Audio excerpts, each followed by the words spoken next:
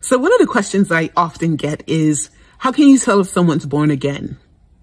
Well, most of the time, people who are not born again, who think that they are a Christian, which means born of Christ, don't know how to tell if someone's born again. Number one, the word makes it clear. We know a tree by its fruit, right? And what does that fruit look like? Looks like the fruit of the Holy Spirit. But aside from that, if you are someone who consistently dwells on things that are negative, everything that you say, not everything, 90% of the time, your speech is just something negative. It's something that happened in the past, 30, 40 years ago, or an incident that occurred that you just can't forgive the person who did whatever it was they did to you.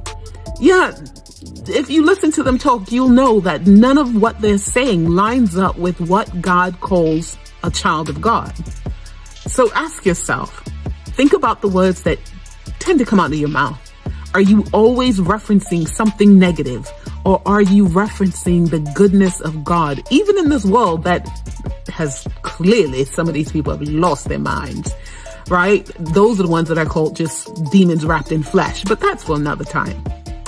Ask yourself, are you born again? And if you are, or you believe that you're born again, right? Because you can be deceived in thinking that you are born again because here in the United States, most people who call themselves Christians, who go to church, their behavior is everything that's antithetical to a child of God. So ask yourself, are you really born again? And if you are born again, when did you receive Jesus Christ?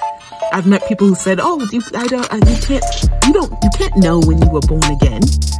Well, if you know the day that you were born in this world, into this world, then how is it possible for you not to know the day that God himself stepped into your mortal body and you were changed? Born again, made anew, all things have passed away. How do you not know that? I can answer that for you.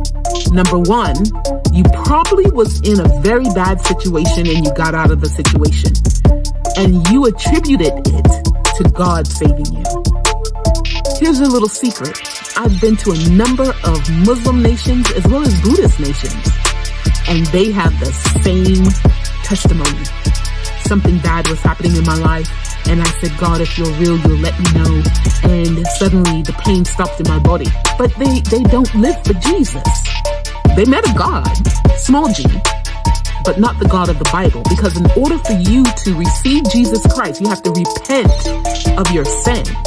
And when you repent of your sins, it is because you received the conviction of the Holy Spirit. And the Holy Spirit convicted you of your sin. Not, oh, God saved me from being jumped by some guys or God saved me from an abusive relationship or, or God saved me because I used to be a smoker or I used to be an alcoholic but your life doesn't look like anything associated with what God requires of us when we read his word. So my prayer for you is that you take a minute and really sit down and ask yourself, were you born again? Did you receive Jesus Christ? Did you receive the conviction of the Holy Spirit? Receive Jesus Christ because he said, yes, he is savior of your life and Lord of your life. And then your life just looks different from how it used to. I'm just saying.